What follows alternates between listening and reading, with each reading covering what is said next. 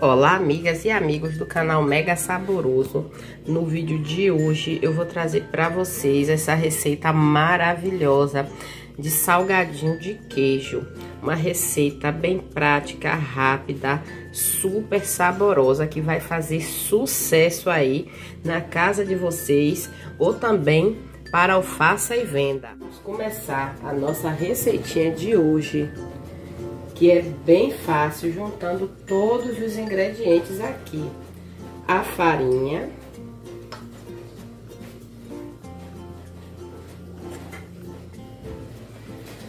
A manteiga ou margarina. A minha aqui está em ponto de pomada, em temperatura ambiente.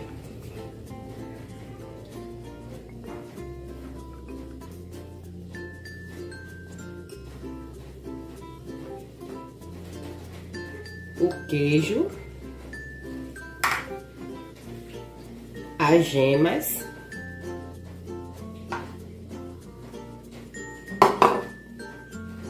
e o sal. O sal é a gosto.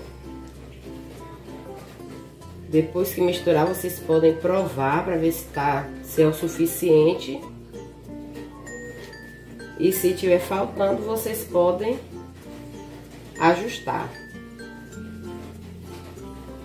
E agora vamos misturar um pouquinho aqui e em seguida meter a mão na massa.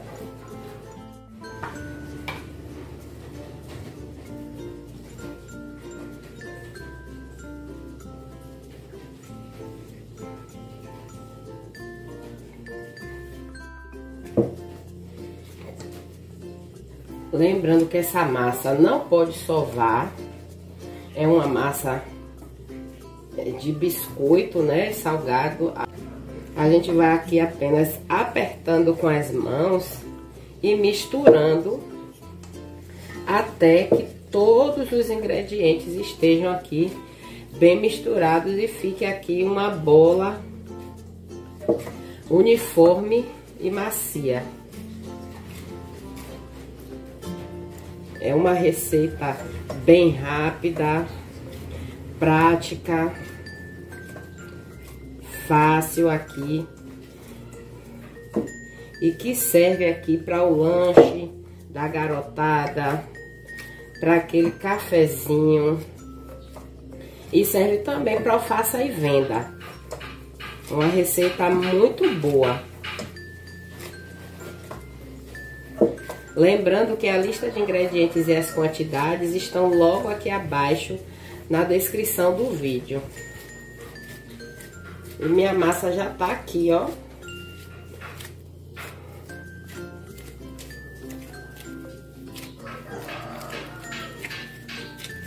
Bem misturada, macia.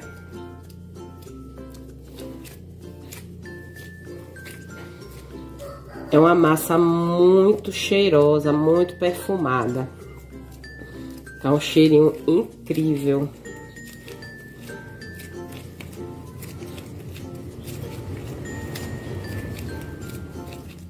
Eu já experimentei e é, ela está com um ponto ótimo de sal, não vai precisar mato. É uma massa muito boa, não gruda nas mãos. E eu já vou aqui modelar os nossos biscoitinhos de queijo. Os meus salgadinhos fiquem assim com o tamanho uniforme, eu vou usar é, essa medida aqui. Vocês podem pesar também, vou porcionar aqui. Mas se vocês vão fazer é, para o faça e venda, vocês podem pesar também para ficar todos iguais.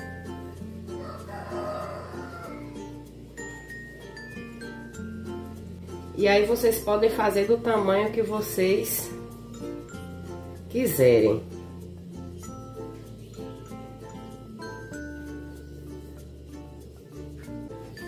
Porcionei aqui a maioria, a maior parte da massa. E para adiantar aqui eu vou formatar logo aqui as bolinhas. Eu fiz aqui um tamanho grande Mas vocês podem fazer do tamanho que quiserem. Se for para alface e venda, é melhor fazer é, um pouco menor.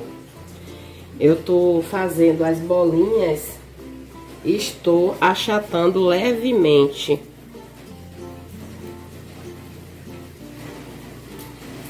Bem de leve. E os nossos salgadinhos já estão aqui todos enrolados. Aqui ficaram 47, renderam 47 unidades, mas vai depender do tamanho, né, que vocês enrolarem, pode dar até 50 ou mais.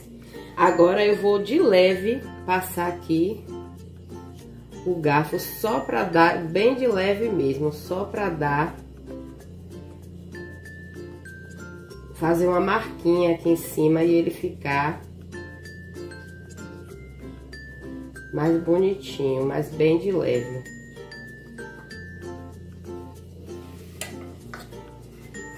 Não precisam estar tá forma, porque é uma receita amanteigada.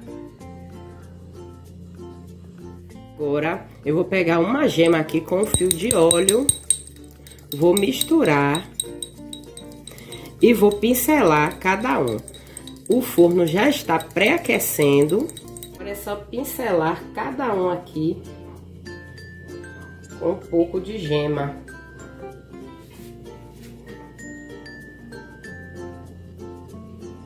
Já pincelei todos. Agora eu vou levar lá no forno e volto já já com vocês. Os meus salgadinhos já estão aqui assados. Eles ficaram por 45 minutos no forno. E eu vou mostrar a vocês que eles não grudam. Como eles ficam aqui, eu tirei do forno já tem uns 10 a 15 minutos. E olha como eles ficam, ó, soltinhos. Na forma essa é antiaderente, mas se for uma forma normal, vocês também podem colocar, porque eles não vão grudar. Biscoitinhos já estão aqui todos arrumadinhos aqui. E olha só que lindeza que ficou. Gente, essa receita é incrível, muito saborosa. Fica um cheirinho super agradável na casa. Uma delícia. E eu vou já aqui experimentar com vocês.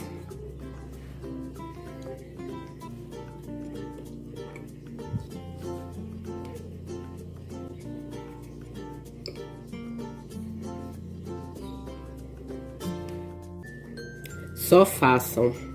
É uma receita maravilhosa. Ele não fica aquele salgadinho que quando você morde se esfarela todo. Mas fica crocante e ao mesmo tempo macio. Uma receita muito boa, realmente. Vocês vão gostar demais dessa receita.